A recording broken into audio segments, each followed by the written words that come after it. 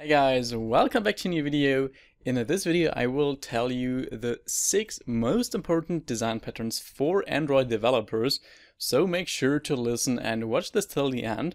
In case you don't know what a design pattern is, it's basically, yeah, it's basically a solution, a blueprint for a problem that we get over and over again in programming.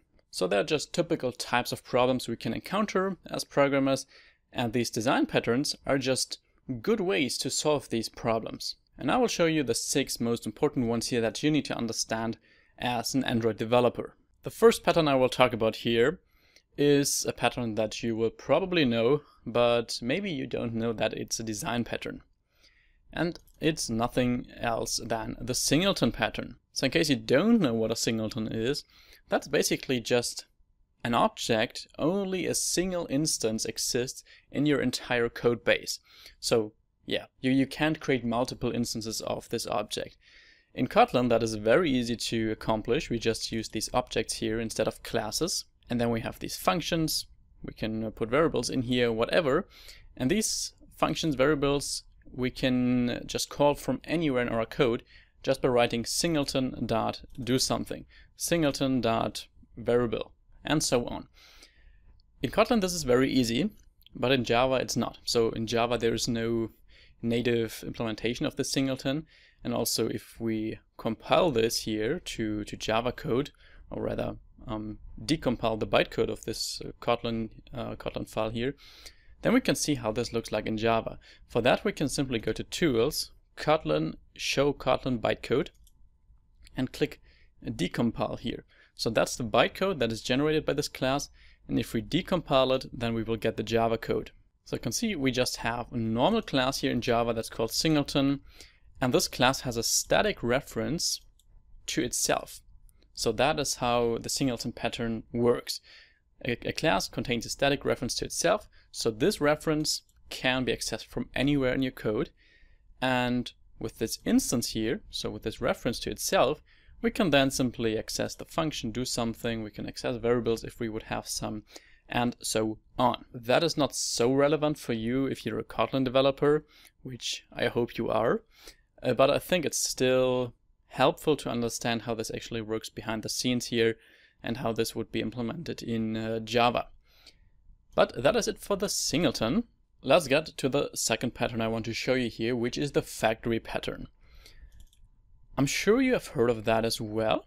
So for example, view model factories. If you have dealt with view models, then you know these view model factories. And they use nothing less than the factory pattern. And I have created a very basic factory pattern setup here, which doesn't really have a practical use here. It's really hard to come up with a practical use case um, that's understandable without any um, context of a project. So this, you probably wouldn't do it like this in your code, but um, it, it shows you how the factory pattern works. Because in the end, what a factory does is it needs to decide and distinguish between similar types of objects and then create the desired one of that. So we just have different types of objects and then based on some logic, the factory needs to decide, okay, do I now create uh, class A? Do I now create class B or class C? And you can see that I created an enum class dialog type. We have three different dialog types here. On the one hand, the create chat dialog, delete message dialog, and edit message dialog. And then we have a sealed class that represents the classes or the objects rather um, for the actual dialogs. Then here you can see we have our dialog factory. So this dialog factory now has a function create dialog that contains the logic to decide which of these dialogues it should actually create. You can see it takes a dialog type, which is one of these three, and it returns a dialog. And the logic here would be that when expression. So maybe you know that with view model factories that you have this when expression. So depending on the class of the view model, you return a different view model. And the same it's here, depending on the dialog type, you return the corresponding dialog that you want to create. And I actually should have replaced that here with delete message dialog and edit message dialog, of course. So that is how it should look like. So whenever you need a handy way to um, create objects that could be of multiple similar types, then you want to use the factory pattern. Next up, for the third pattern I want to show you here, I want to get to the builder pattern, which I'm sure you also have seen before. But um, yeah, let's take a look here. We have a hamburger class because um, yeah, that is in the end something that you can use to demonstrate the builder pattern quite well because well, on a hamburger, you can choose what kind of toppings you want to have. So do you want cheese, do you want beef, onions, and feel free to add even more but each of these could be optional. So what we will use here is this common builder pattern that we have an inner class in this hamburger class called builder. And this class then contains functions to actually assign values to, to the local variables here. And if we then, in the end, call the build function, we finally create the hamburger here. And all of these functions to actually assign the values, they just return the builder itself. If we hit Control Q here, you can see they all return a hamburger.builder. To actually see how this really looks like, let's head over to our main activity. And you can see this is super readable here. We just create a hamburger. It's equal to hamburger.builder. And then we can say, hey, we have we want to have beef on our burger. We don't want to have cheese on our burger, but we want to have onions on our burger. And when we're done, we just call that build and that will then return a hamburger instance, as you can see, with exactly these properties. So that's just a very cool way to actually assign values to your properties of a class. Um, a common class from Android would be the material alert dialog, builder, you can see here we could pass the context and then simply call these set background functions, then set title, set message, and so on. However, this is still more the Java way of doing that. So I'm not sure if I would really use um, my own builder patterns in Kotlin. So that I, if I would really implement it like that. Because in Kotlin we have name parameters and we have default parameters. So we could just put all of all of these values here in the constructor. So let's quickly do that. We can simply remove all of that, make this a public constructor, and probably a data class. And then we could just assign default values. So by default, we want to have cheese, we want to have beef, and we don't want to have onions. Uh, I mean, false, of course.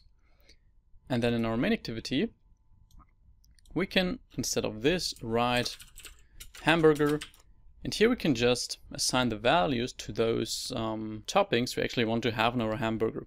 So let's say we don't want to have cheese, then we just say cheese is equal to false. If we want to have onions, we set this to true.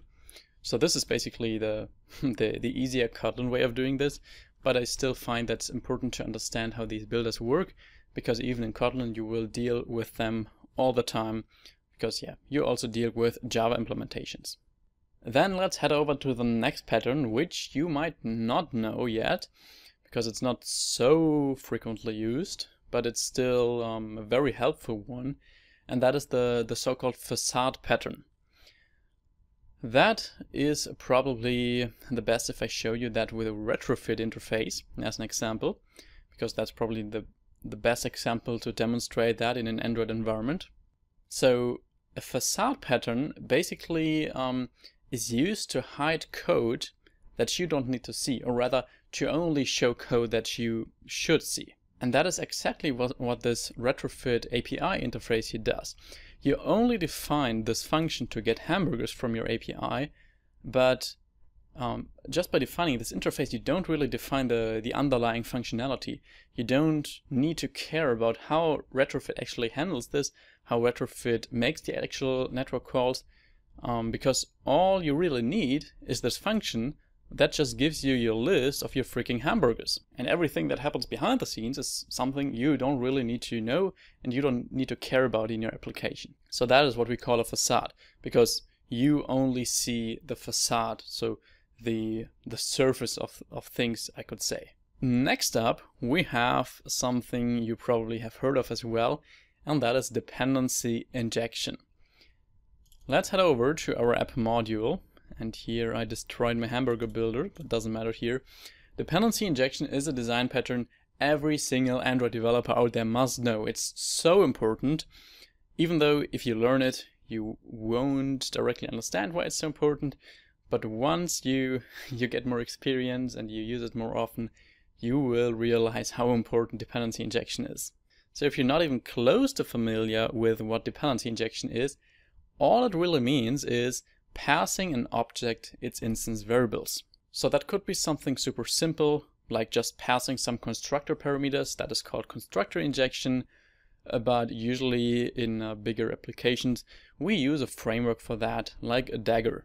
And Dagger will just provide us a very convenient environment to define our dependencies. So a dependency is in the end just an object you want to inject into some of your, your classes. So you can see that could, for example, just be a hamburger.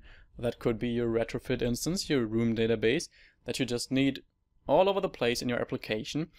And then you have these modules with Dagger in which you define how these dependencies are created. So for example, how your room database is created. So then Dagger knows how it's created and then it can simply inject that into your classes. So you can use that in your main repository, in your other repository, whatever, wherever you need your database, you can simply inject it from the outside. And what's the benefit of that? Well, it allows you to super easily swap out your dependencies. So in the end, all you need to do to change the whole behavior of your app um, is to change one of these provides functions that just define how a specific object is created. And it also makes testing super easy because you can just define your own test modules in which you just have all the dependencies that you use for testing because usually for testing you have some fake dependencies. You don't want to use a real API your real database. Instead yeah you just define some fake ones that just behave similar to the real ones and simulate the behavior.